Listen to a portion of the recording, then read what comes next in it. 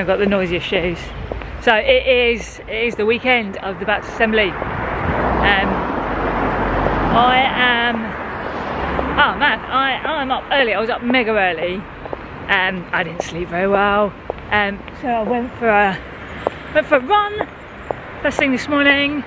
So that was great. And now I am heading out to the conference centre to set up my table really early. Um, it's a nice warm day, which is really good. Um, so yeah, I've been out for a run, done that. Why did I do that? I did that because it's important to start the day right. So I'm just trying to look after my well-being. I know that this afternoon is going to be it's going to be a busy one. Actually, the whole day is going to be a busy one, not this afternoon. Um, so I just needed to make sure my head was in the right space. So last night I spent the evening with friends. That was really nice, just having a laugh. And now, now let's go to Baptist Assembly.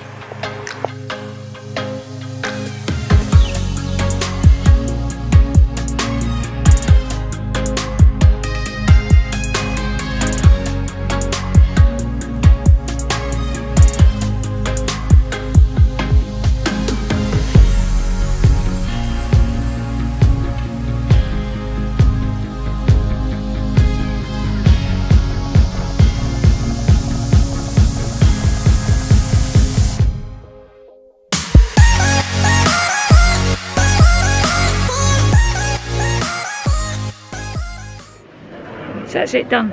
I am set up. Um, I'm now going to try and grab some, uh, ah, I'm out of focus. I'm now going to try and grab some tea or some coffee or something. Um, hot water probably. Uh, let's get this party started.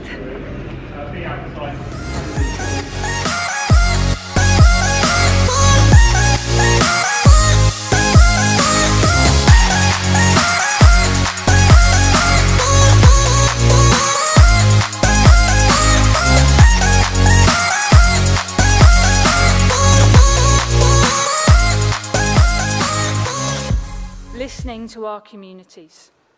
I'm often reminded of the comment the missionaries came to bring us the bread of life, but we choked on the packaging. Building a bigger table is about us not making that same mistake. It's about us starting from a place of listening, being contextual, and respecting Christ in everyone. Building a bigger table is about taking the time to listen and hear those who are not like us, who hold different views to us. I have to be honest, my experience as a millennial female in Baptist ministry means that daily I interact with people who don't believe I should have a voice.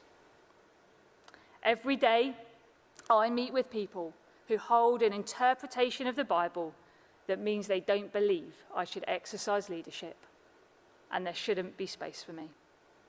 But I'm still here.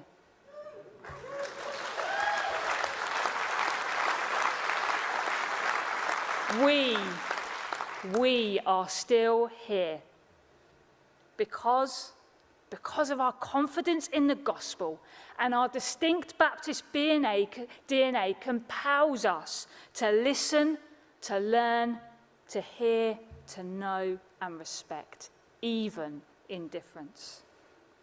Paul writes, For though I am free with respect to all, I've made myself a servant to all, that I might win some more. To the Jews, I became a Jew in order to win Jews. To those under the law, I became as one under the law.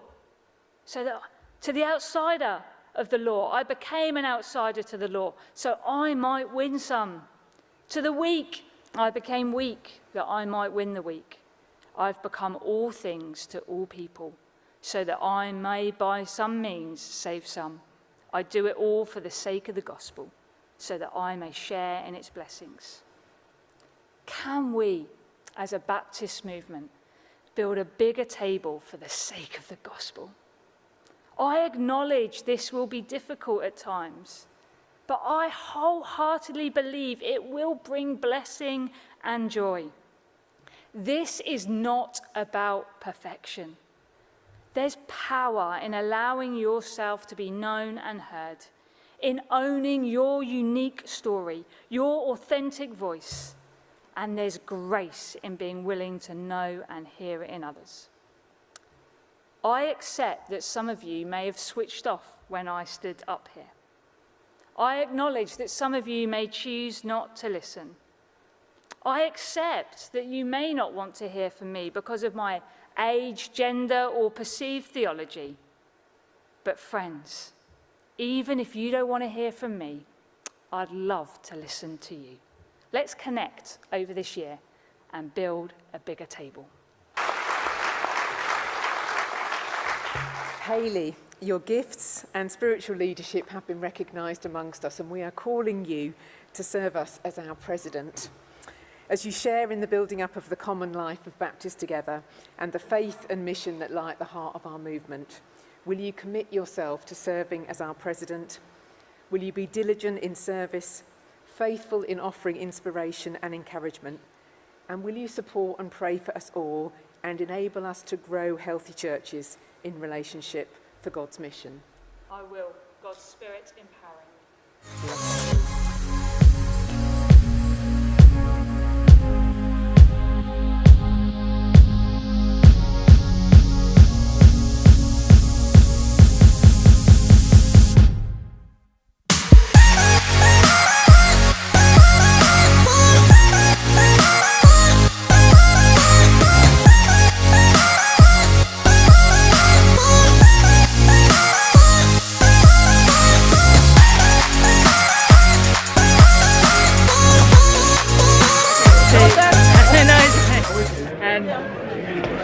That session, I've now got to find out where I'm going for the next session for prep. So that is good. I'm going to go and see if we can, um, so that's prep for this evening's session. So this evening we've been doing loads of listening and missional listening around um, the assembly, what the conversations are. So we are learning what that is. So we will now just feedback from that and then see where we're at. So I So I've got to find that room um, because we're just discussing what happens next. And that's going to take an hour, but I can't stay an hour because I've got to then go and do some um, stuff. All right.